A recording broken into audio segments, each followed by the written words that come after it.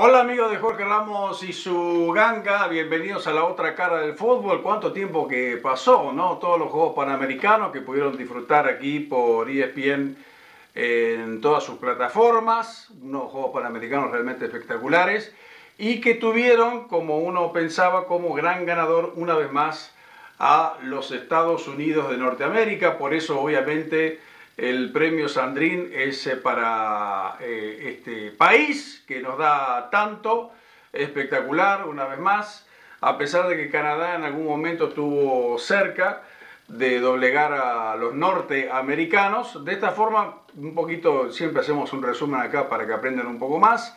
Eh, solamente dos países han logrado los Juegos Panamericanos que no sean los Estados Unidos de Norteamérica, que son la República Argentina y eh, Cuba. Así que la próxima va a ser en Perú. Vamos a ver si vamos a estar ahí con Carlitos en esta ocasión. Deportes realmente muy, pero muy lindos. Em, felicitar también a Guatemala. Hizo muy bien las cosas la gente guatemalteca para Centroamérica. Y después lo de siempre, ¿no? Canadá, Brasil, eh, bien lo de Argentina, em, ¿quién más? Colombia, Colombia hizo las cosas realmente en forma sensacional. También un fin de semana donde comenzó la multipropiedad X, sorpresas, porque Cruz Azul, la máquina cementera, empezó horrible. Eh, y después también empezó muy mal las Águilas de América y también empezaron mal la Chiva Rayada de Guadalajara.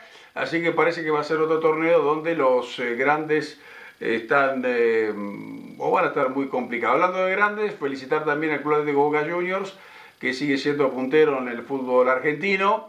Y con dos hombres menos ganamos Carlito 1 a 0. Eh, también quiere que felicite a River. Bueno, recuerde que tenemos por ESPN Deportes Radio la gran final de la Copa Libertadores. Tigres, River, River, Tigres.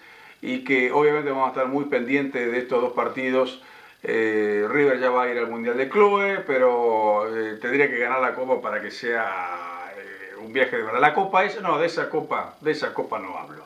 Sigan participando y regresamos a Jorge Ramos y su ganga.